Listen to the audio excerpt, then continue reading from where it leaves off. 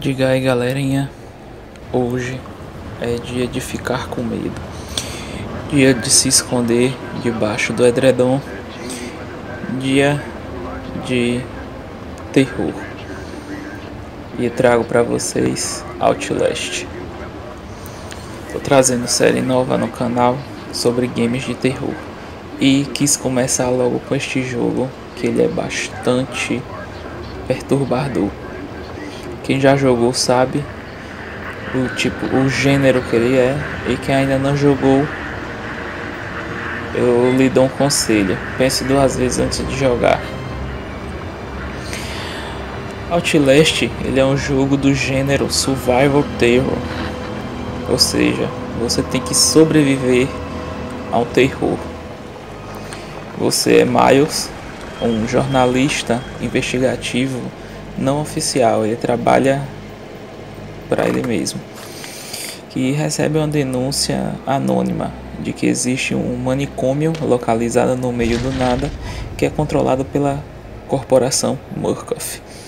Essa corporação ela é conhecida por usar caridade para conseguir lucrar, só que aqui no manicômio é bem diferente.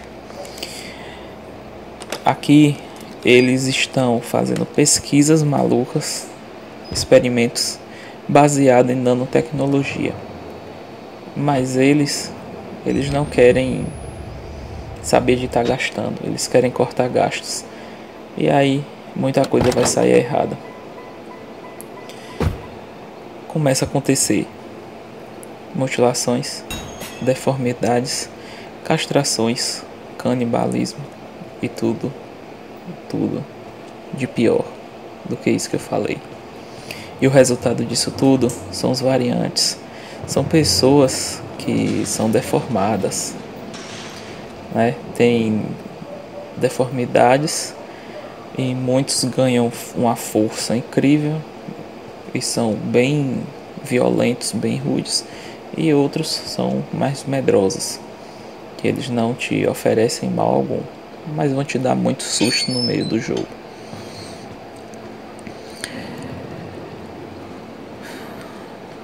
Eu sei que o jogo já tem 4 anos de lançado, né?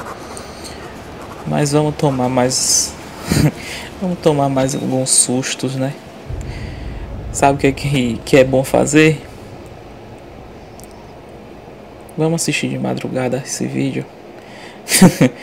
vamos assistir de madrugada que é legal.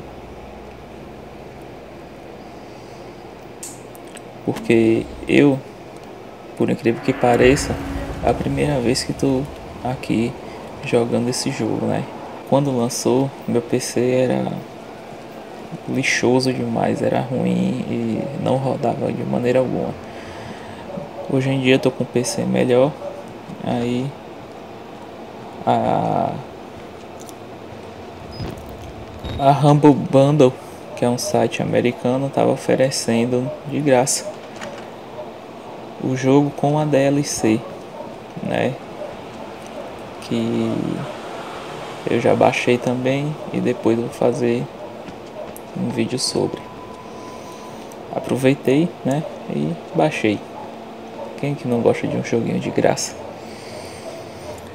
O jogo ele é todo explorativo. Você tem que explorar cada detalhe do cenário. Como ele é um jogo que ele é muito escuro, o Miles, ou seja, o personagem, ele tem uma câmera. E essa câmera, ela é, ela também tem visão noturna, ou seja, visão infravermelha.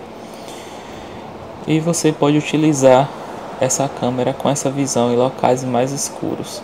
Mas aí você vai precisar de mais baterias para recarregar sua câmera, que a energia da câmera ela drena muito mais rápido quando está na versão modo noturno.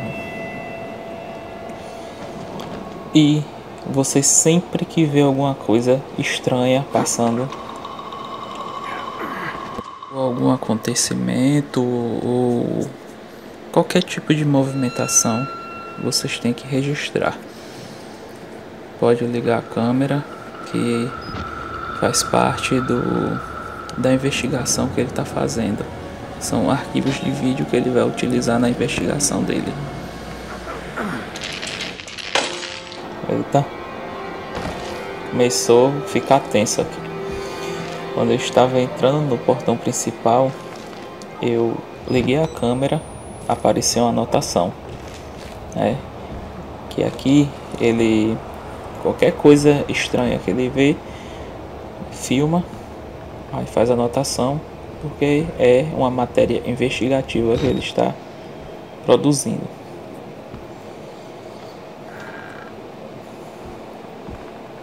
E o game é isso aqui. Você tem que explorar o máximo que você puder. Cenário bem sinistro, bem. Olha pra isso. Que susto.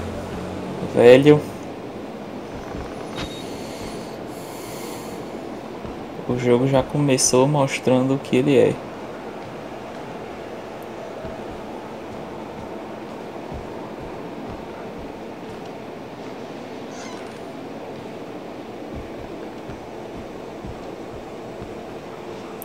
Você pode passar por, por aberturas, você pode empurrar objetos. E aqui o que eu estava falando sobre as baterias da câmera. Em todo o cenário do jogo você tem que explorar também para achar baterias da câmera e para achar também documentos de pacientes. Começou o sangue. É, começou o sangue.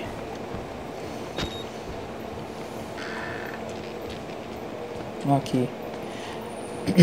Acabei de achar um documento confidencial, que é o registro médico, quando vê assim. Isso, é um registro médico.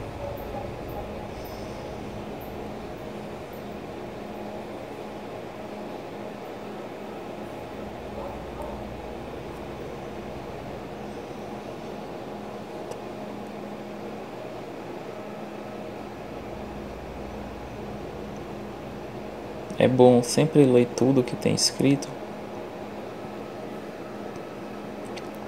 porque tudo isso vai para a matéria que o Miles está fazendo e também para você entender o que se passa pelo jogo.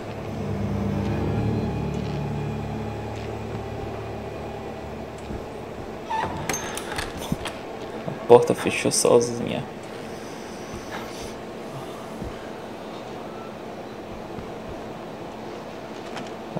Não só fechou, como se trancou. Outro aspecto bem interessante nesse jogo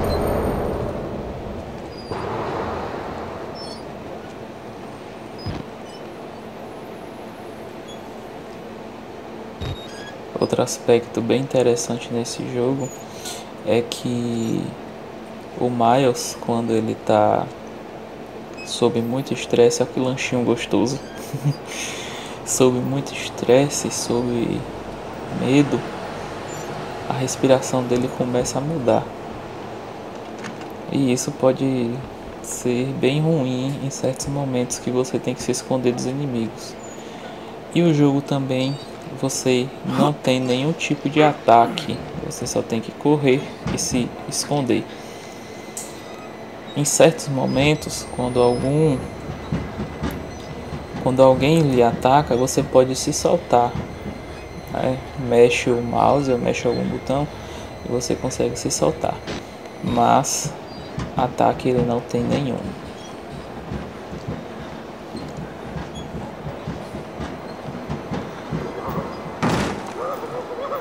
Rapaz,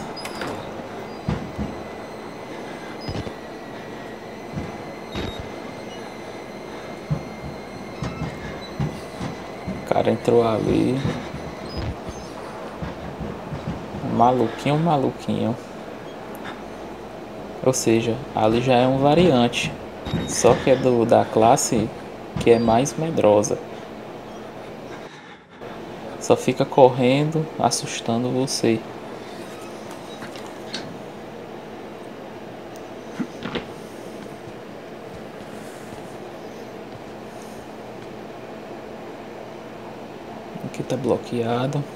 Vamos ver o que que tem aqui. Vai, meu Deus do céu, o que é isso? Cara, o que foi isso?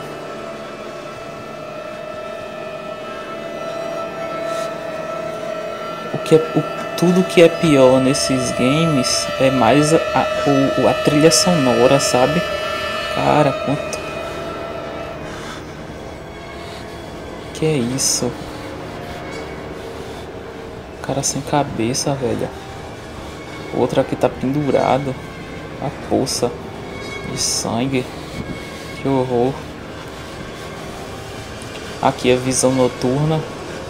Tô usando aqui que tá com pouca luz. Tem um cara ali. Outro aqui pendurado.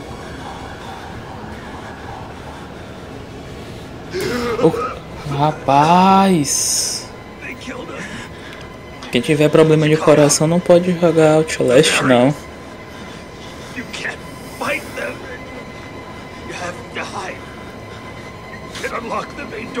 É um pouquinho de, é um pouquinho tarde para avisar isso, viu? Cara. É, a pessoa que anda aqui gosta muito de cabeça.